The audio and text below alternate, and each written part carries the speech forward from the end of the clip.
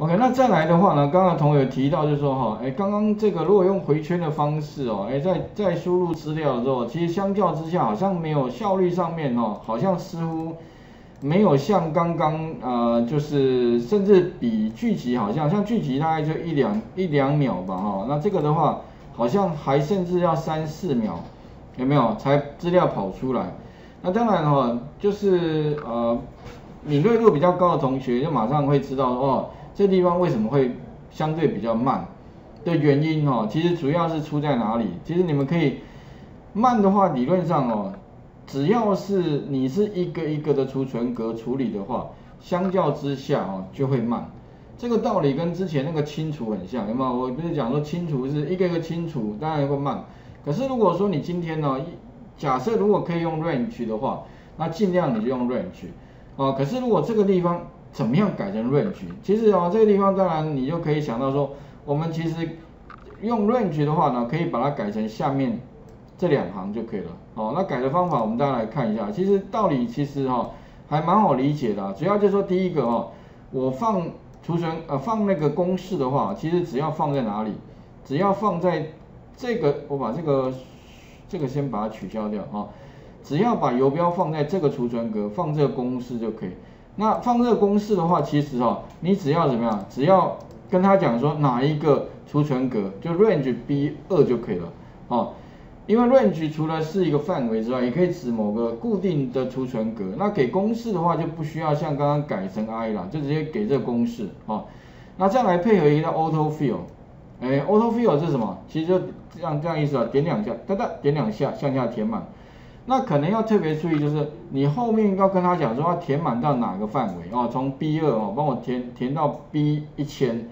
那这个一千的数字哦，将来当然你可以用追踪的，不过目前我是直接写固定的哦，B 二到 B 一千。那主要另外哦，因为它是跨工作表，所以记得前面一样要加上序词物序词物件哦，好像这个加一个两个，这个也要加，因为他们都在另外一个工作表。哦，那怎么判断呢？主要是可以从这个按钮的位置来决定。哎，如果按钮在这边有没有？啊，这个我把它改一下名称好了，这应该是，诶，黑名单筛选 VBA。好，然后名称的话改成这样好了。OK，好，那改完之后的话呢，其实我们就可以来乱乱看了。所以其实改完，刚刚用那个 for 回圈哈，大概要跑个五秒钟。哎，如果改 auto fill，我们来踹一下看看，清楚哦。哎，大概有没有？顶多大概两秒钟。所以呢，你会发现，哎，效率好像要更快了。哦，那筛选的话呢，其实哦，它之所以慢，你知道慢在哪里吗？有没有发现？它就是因为要 select，哦，有没有？然后再 select，所以其实哈，录制剧集的缺点呢，应该可以理解，就是说。它因为要不断的在帮你去抓那个滑鼠的位置、键盘的位置，所以它其实这个地方会耗掉蛮多资源的。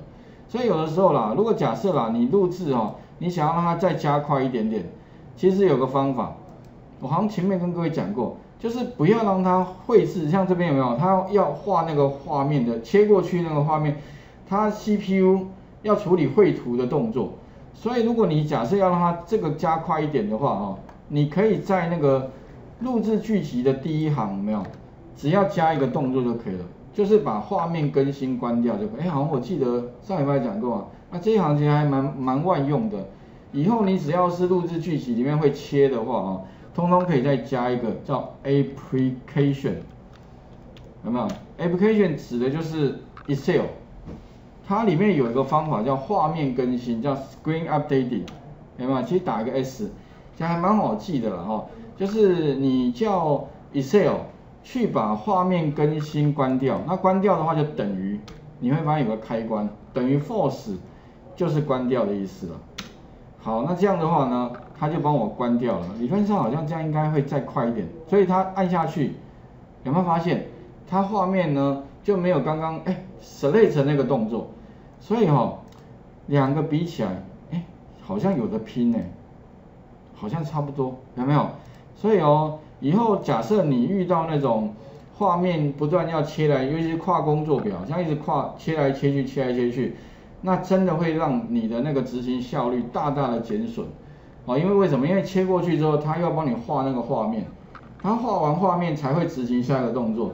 所以如果你把那个画面更新关掉，意思说你不用帮我画这个画面，你直直接执行后面的动作，哎，那相较之下哦，执行的效率呢也会比较高了。OK，所以哈这一行程式哎还蛮重要的。OK 好，然后。刚刚的那个城市哦，其实有改了，所以这个这两行哈，基本上云端白板也也有，所以你们可以找一下。这个的话呢，其实在云端白板上面的方法二哦，就这这两行啊。OK，这一行跟这一行底下这个是有一样的了哈，所以啊，那另外的话，不知道各位有没有，就是之前有同学会问一个问题，说老师，那这个地方哈，很多都重复嘞。什么重复？续齿刮胡查询名单有没有？这个物件一次、两次、三次、四次、五次，哇！那所以哦，如果假设你以后遇到像这种状况哦，其实顺便讲一下，当然你不做哦不影响，可是如果你做了让城市更清爽，那我觉得好像有必要。也就是说，如果反复出现某一个物件名称的话，那其实你可以学一个东西叫 with，所谓的 with 哈，指的就是说呢，我以后呢就把这个名称哈带进来，那只要在 with 跟 end with 中间这个范围之内哈，那我在这个点的前面其实就是 with，所以记得哦，with 这个名称，那要记得尾巴哈，就是这个城市的尾巴，你要记得叫 end with。OK，有头有尾的，跟 if 跟 end if 一样哈。然后把这几行按 tab，我喜欢按 tab 键。那如果在这个范围之内哦，反正它只要看到有点，但是前面没东西的，它就会自动加这个。所以哦，下一步就是你可以把一样的东西有没有？这些东西呢，通通都可以 delete 掉，但是一定要留下点，它就知道哦，点的前面其实是有这个东西的。哎，那这样其实你会发现哦。相较之下，应该城市会看起来相对清爽啊。哦，不过你说这个一定要做吗？其实你不做哦，其实也不影响。但是做了，感觉好像城市哦会比较舒服一点。所以好像我觉得应该还是有必要把这个城市稍微精简，尤其是你将来哈会遇到很多地方，你城市越写越多，那越越写越多，你会觉得说哇重复出现，看起来真的会觉得很。很烦，所以你像我一定会改了啊！如啊，可是这当然就变要多记一个东西了啊！如果你暂时记不起来没关系啊，大家知道原理，那最后把它 run 一下，应该这样 run 结果一不一样？也一一模一样，不影响。